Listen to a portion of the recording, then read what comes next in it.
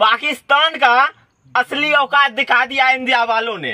आखिरकार पता चल ही गया कि बाप बाप होता है और बेटा बेटा होता है।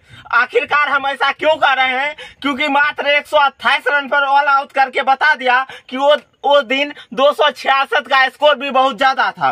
बारिश होने के वजह से पहला मैच में तो पाकिस्तान बच गया, लेकिन उम्मीद के साथ मैं कह सकता हूँ गारंटी के साथ, सौ परसेंट गारंटी के साथ कि पाकिस्तान का कोई औकात नहीं है इंडिया के सामने। मात्र एक सौ अट्ठाइस रन पे ऑल आउट हो गया। अगर दूसरे दिन रिज़र्व डे में भारत बल्लेबाजी नहीं भी कहते फिर भी एक रन ही बहुत ज़्यादा था पाकिस्तान के लिए। ऐसा हम क्यों कर रहे हैं? क्योंकि मात्र एक सौ अट्ठाईस रन पे ऑल आउट हो गया।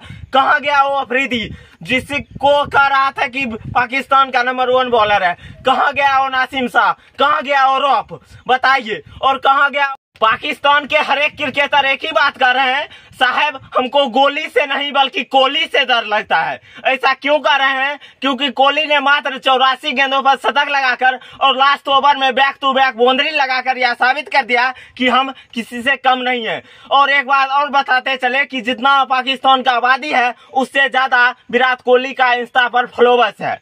जी हाँ जितना उसका आबादी है, उससे ज़्यादा विराट कोहली का इंस्टा पर फॉलोवर्स है। और बाबर आज़म कह रहे थे कि हम तीर मार देंगे, लेकिन मात्र दस रन पर ऐसे पवेलियन चल गए, हार्दिक पांड्या के बॉल पे तो ये बुमराह के बॉल पर कहाँ टिक पाते?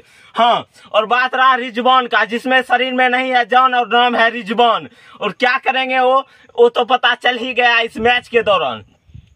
और सबसे बड़ा बात है कि चार बेहतर आए थे इंडिया के तरफ़ से, और वो पहले जो दोनों अपने थे, वो पचास रन बनाए, और उसके बाद जो दोनों तीन नंबर और चार नंबर के बेहतर आए थे वो शतक बनाए।